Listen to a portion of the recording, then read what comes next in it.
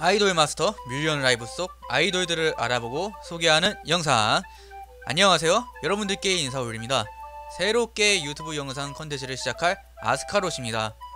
in-game MV 영상만 올리던 제가 처음으로 한번 영상 제작을 도전해봤는데요.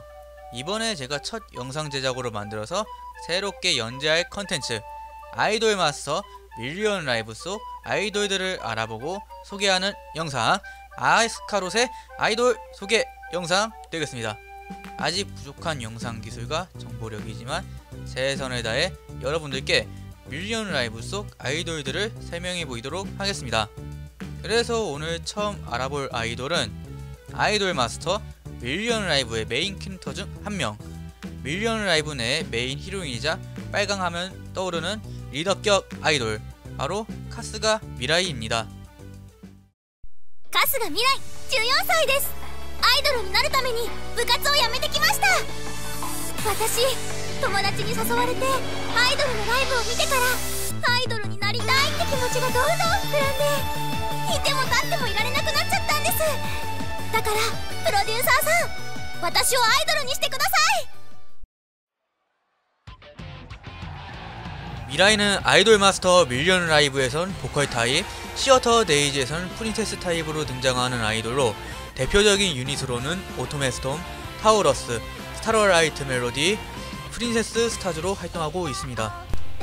아이돌 마스터 본 시리즈의 아마미 하루카, 디어리 스타즈의 히다카 아이, 신데레라 걸즈 시리즈의 시마무라 우즈키의 뒤를 잇는 아이마스계의 빨간색 정통파 타입 캐릭터로서 밀리언 라이브의 메인 타이틀의 히로인으로 등장합니다. 메인 히로인답게 밀리언 라이브 1차 프로모션 영상과 1주년 기념 first anniversary PV 영상에 메인으로 등장함으로써 하루카와 동등 위치의 밀리마스 오리지널 아이돌들의 대표격 캐릭터로 등장하였습니다. 타고난 재능이 없는 평범한 여자아이지만 열심히 노력해서 갈고 닦아 정상을 꿈꾸는 주인공스러운 위치의 아이돌로 아이돌 그 자체를 좋아해서 아이돌이 된 케이스입니다. 활발한 성격과 어울려져서 딱 정통파 아이돌다운 모습을 보여주고 있습니다. 미라이는 하루카나 우즈키와는 다르게 텐션이 높고 밝고 활기찬 개성을 가지고 있는 아이돌입니다. 밀리마스의 메인 자리는 하루카한테 받았다면 특유의 밝고 활기찬 성격은 디어리 스타즈의 히다카 아이에게 물려받았다고 할 수가 있죠.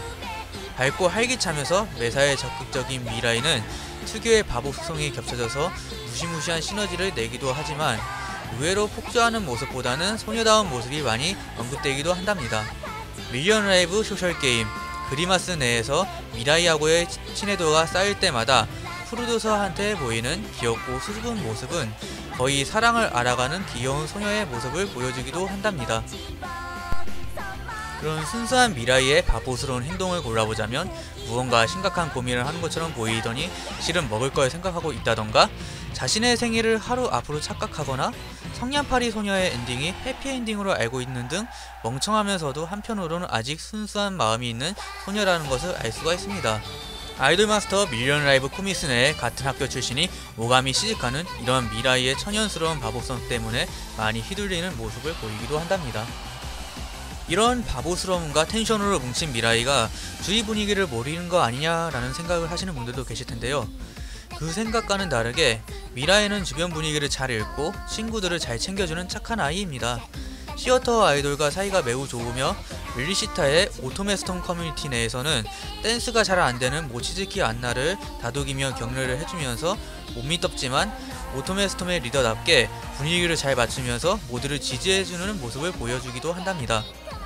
또 같은 밀리라지에 활동하는 하코자키 세리카하고도 사이가 매우 좋으며 같은 밀리언 센터 포지션인 모가미 시즈카와 이부키 츠바사와는 사이가 매우 좋은 모습을 보여주고 있습니다.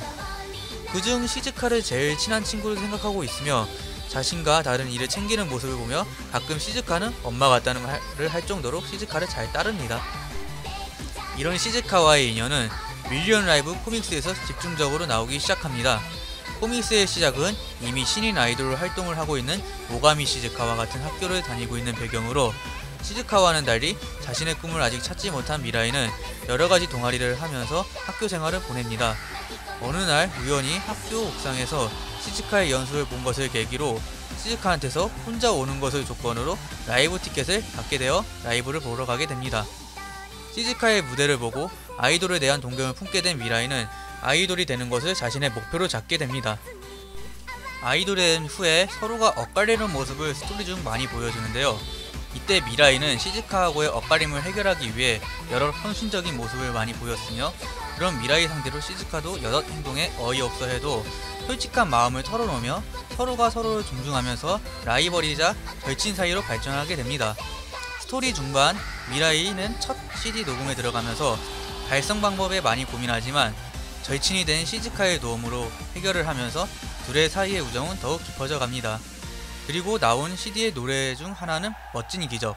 실제로 마지막 장의 CD 인선 목록을 보면 위쪽 부분에 일어로 멋진 기적이라고도 적혀져 있습니다. 이런 시즈카와의 인연뿐만 아니라 스토리 내에서 미라이의 깊은 고민도 나오는데요. CD 데뷔는 성공했지만 아직 아이돌에 대해서 정확한 목표가 없던 미라이. 시즈카의 무대를 보고 아이돌의 목표는 잡았지만 점차 자신은 어떤 아이돌이 되고 싶은 건가 하면서 고민을 하게 됩니다. 첫 데뷔 CD 발매와 동시에 에밀리, 스바루, 리아와 함께 유닛을 구성해 팬들에게 사인이 들어간 CD를 증정하는 이벤트에 참여하게 되는데요. 이벤트 중에도 깊게 고민을 하던 미라이지만 사인 CD를 나눠주면서 팬들의 미소를 보면서 아이돌이란 정말 대단하구나 라고 생각하게 됩니다. 여태 많은 일을 해왔지만 팬들과 만나는 일이 제일 좋다고 말함과 함께 미라이는 아이돌에 대한 목표를 더 확고하게 잡 는 계기가 되게 되면서 아이돌에 대해서 한 발자국 더 성장한 모습을 보여주게 됩니다.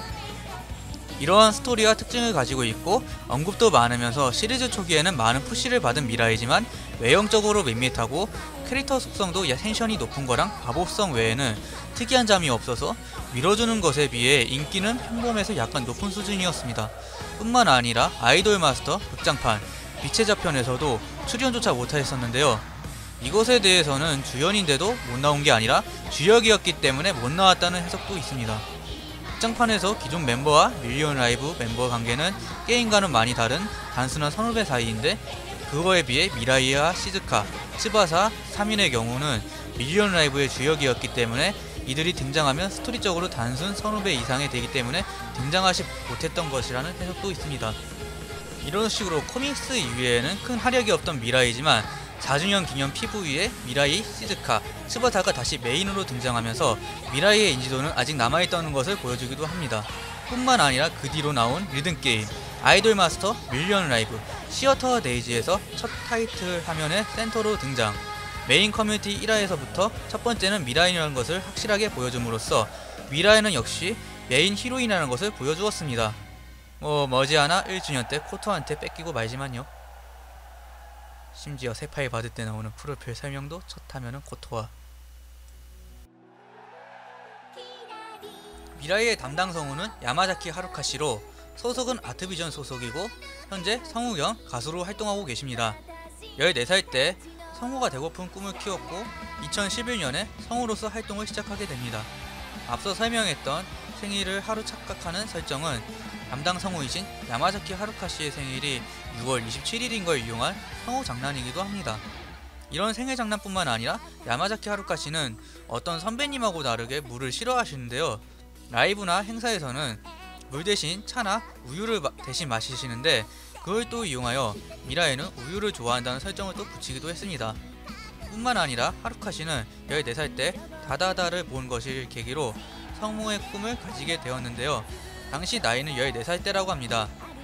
미라이가 아이돌이 되고 싶었던 계기나 나이를 보면 성우랑 아이돌은 방향성이 다른 것 같지만 미라이가 초기에 되고 싶었던 것이 없어서 여러 활동을 한 것처럼 당시에 하루카 씨도 되고 싶었던 것이 성우가 아닌 디즈니 월드에서 연기를 하는 연기자나 마술사 같은 이런저런 꿈을 가진 상태에서 성우라는 직업을 보게 되고 되고 싶다는 확고한 의지를 가지게 되어 목표를 정했다고 하시니 어느 정도 캐릭터랑 성우가 일치된다고 생각이 듭니다.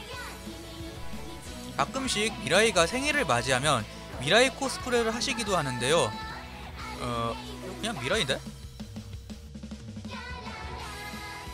미라이의 담당 곡으로는 솔로곡 Live Theater Parade 3탄의 멋진 기적 Live Theater Harmony 2탄의 미래 비행 Master Sparkle 1탄의 미래계 Dreamer 등 제목에서나 가사에서나 기적과 미래와 관련된 곡들이 많이 있습니다. 그룹 곡으로는 Live Theater Parade 3탄의 Pretty Dreamer와 Live Theater Harmony 2탄의 Growing Storm Live Theater Dreamer 2탄의 머나먼 미래와 Million Radio 팀송에서는 UNMEI Live와 Turn On Time을 Live Theater Forward Starlight Melody에서는 Memento, Momento, 루루루와 Starlight Melody를 Idol Master Million Live 코믹스 5권 특전 수록 CD에서는 너와 내일을 바라니까와 Live Theater Generation Princess Stars에서는 Princess Be Ambitious를 불렀습니다. 그중 멋진 기적은 미라이의 첫 솔로곡이자 Million Live 코믹스 스토리 중 미라이가 첫 CD 데뷔를 할 때 부른 곡이며 Million Live Theater Days의 첫 메인 스토리와 함께 나온 대표적인 솔로곡이기도 합니다. 멋진 기적은 MV에서 매력이 있는데요. 바로 초반 도입 부분의 air guitar 연출이라고 할 수 있죠. 이 연출은 Idol Master 콘솔 게임 시리즈인 One For All에서 DLC 6권으로 나온 첫 연출이면서 Theater Days에서도 사용되는 연출이기도 합니다. 거기다 Million Live Theater Days 1주년 기념 방송에서 스페셜 MV로도 공개가 되기도 했습니다. 이처럼 미라이의 이름과 성격대로 이 세 개의 솔로곡들은 특유의 밝음과 미래와 기적에 관련된 소재들을 사용하고 있습니다. 이렇게 미라이에 대해서 이야기를 했는데요. 초기에는 이 컨텐츠를 계획하고 첫 시작은 미라이로 하겠다라는 의지는 가득했지만 막상 미라이에 대해서 조사를 해보니 역시 설명했던 대로 평범 정도라 이렇다고 강조할 부분이 많이 적은 기분이네요. 저도 조사하면서 아 미라이가 이렇게 적었나? 어? 라고 생각할 정도였는데요. 일본 인터넷 사이트 내에서도 그다지 큰 언급이 없어서 좀 기묘한 기분이 들기도 했습니다. 미라이가 빛나는 전개도 거의 코믹스 기점이다 보니 어떻게 보면 코미스에 대해서 약간 스포가 있어 보이네요. 뭐 이 코믹스가 연재된 연도도 14년도고 국내에서도 단행본이 정발되어 있으니 아시는 분들은 많이 아실 것 같네요. 이렇게 해서 미라이 영상은 이것으로 마치도록 하겠습니다. 그럼 전 다음 아이돌 영상으로 찾아뵙도록 하겠습니다. 그럼 안녕!